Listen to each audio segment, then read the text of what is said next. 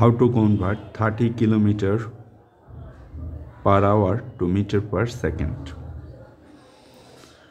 We need to convert kilometer to meter as their top unit. So 1 kilometer equal to 1000 meter. So to cancel kilometer we'll write kilometer at the bottom from this conversion equation. At the top we'll have 1000 meter.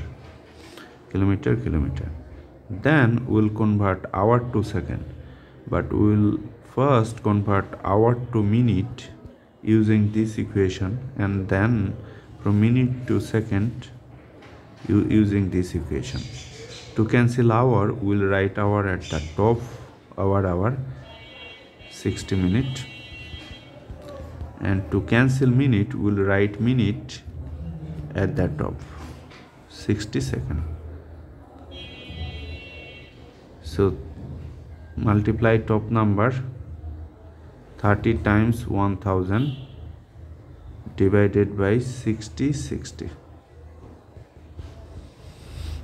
here meter and here uh, we have second at the bottom. Now cancel this zero this zero then this zero this zero. So we are getting this now divide this 6 by 6 you will get 1 divide this 30 by 6 you will get 5 divide this 10 by 2 you will get 5 divide this 6 by 2 you will get 3 so basically we are getting 5 times 5 25 divided by 3 meter per second.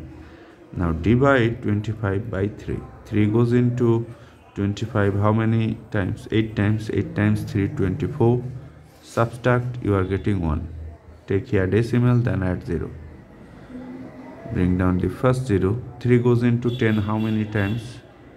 3 times. 3 times 3 9 subtract 1 bring down the next 0 3 goes into 10 3 times. That is this 3 is repeating so you can place here bar.